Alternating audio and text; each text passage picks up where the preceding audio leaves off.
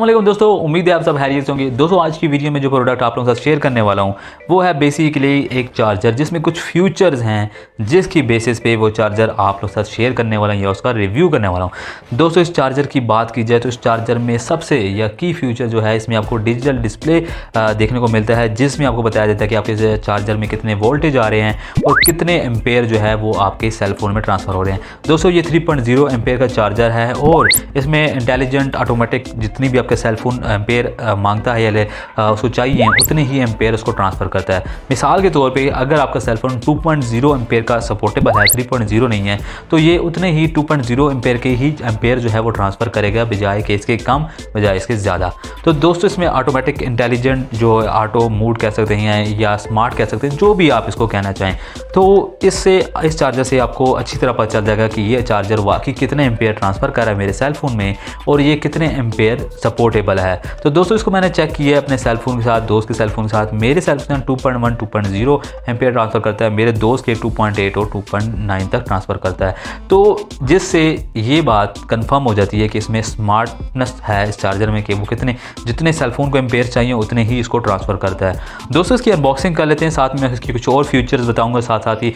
तो वीडियो को शुरू करने से पहले, अगर अभी तक आपने मेरे चैनल को सब्सक्राइब नहीं किया तो जल्दी से जाओ यार, वीडियो के नीचे एक रेड कलर का बटन है सब्सक्राइब करो उसको क्लिक करो, साथ में घंटी जो बेल का ऑप्शन है, उसको दबा देना, ताकि जब भी मेरी न्यू वीडियो आए यार तो आप सबसे पहले उसको देख सके। तो चलिए दोस्तों, कर लेते हैं इसकी अनबॉक्सिंग और देख लेते हैं इसमें और कौन कौन से फ्यूचर देखने को मिलते हैं। तो दोस्तों, ये है वो चार्जर जिसकी मैं बात कर रहा हूँ। दोस्तों, यहाँ पे सबसे पहले इसकी जो है नेम है या ब्रांडिंग हुई हुई है ओरिजिनल के नाम से ब्रांडिंग है।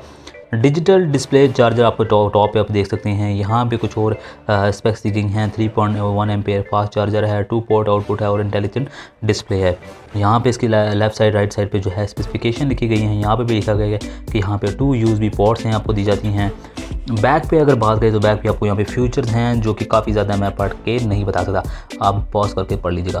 यहाँ पे मेड इन चाइना है। अब कर लेते हैं दोस्तों इसकी अनबॉक्सिंग दोस्तों वैसे बॉक्स से तो ये बड़ा प्रीमियम लुक सा देख रहा है और काफ़ी कहते हैं महँगा सा होगा बट इतनी इसकी कॉस्ट नहीं है जितना ये लुकिंग है। कर लेते हैं इसकी अनबॉक्सिंग और यहाँ पे सबसे पहले आपको ये चार्जर ही आपको एक देखना मिलता है, जिसको यहाँ पे लिखा गया ओरिजिनल और इसको निकाल लेते हैं। और यहाँ पे इसके जो बॉटम पे वही 3.1 पॉइंट का लिखा गया है। और यहाँ पे इनपुट लिखी गई है आउटपुट लिखा है, बताया गया और मेड इन चाइना लिखा हुआ है। और और यहाँ पे कुछ नहीं, यहाँ पे जैसे कि दोस्तों मैंने यहाँ पे स्टार्टिंग में आपको बताया डिजिटल डिस्प्ले यहाँ पे दोस्तों आपको यहाँ पे एम्पेयर वोल्ट मीटर जो भी इतने वोल्टेज और एम्पे मीटर मीटर एम्पेयर जो है, वो ट्रांसफ़र हो रहा आपके सेलफोन में, वो यहाँ पे सारा डिस्प्ले होगा। तो दोस्तों कल तो इसकी टेस्टिंग और आपको दिखा देंगे डिजिटल डिस्प्ले किस तरह से काम करता है। तो दोस्तों ये हो गया यूज़ सॉकेट यहाँ पे हम यहाँ पे सॉकेट में लगा लेते हैं। दोस्तों यहाँ पर आपको शायद नज़र आ रहा है फाइव वोल्टेज इस वक्त। आ रहे हैं। अब कर लेते हैं हम इसमें यूज़ भी प्लग इन साथ ही इसको लगा लेते हैं एक छोटे से सेलफोन जो कि ओप्पो का है। दोस्तों, ये हो गया ऑन और यहाँ पे शो हो रहे हैं 5.1 और यहाँ पे आपको नज़र आ रहा है 1.6 पॉइंट एम्पेयर आपके इस वक्त सेलफोन में ट्रांसफ़र हो रहे हैं। 1.6, 1.7, 1.5, 1.4 तो दोस्तों यहाँ से आपको अंदाज़ा होगा एक सेल फ़ोन में कितने ट्रांसफ़र होने? 1.5 अब लगा लेते हैं दूसरा सेल फ़ोन जो कि है रियल मी का और आप इसको इसमें देखते हैं कि इसमें इतने एम ट्रांसफ़र करता है। ये हो गया चार्जेस कनेक्ट और दोस्तों जैसे ही सेल फ़ोन को मैंने लगाया और यहाँ पे इस वक्त कितने ट्रांसफ़र हो रहे हैं? 2.1 पॉइंट जो है इस सेल फ़ोन में ट्रांसफ़र हो रहे हैं। इस सेल फ़ोन में कितने ट्रांसफ़र हो रहे थे? 1.5 से 1.7 तक।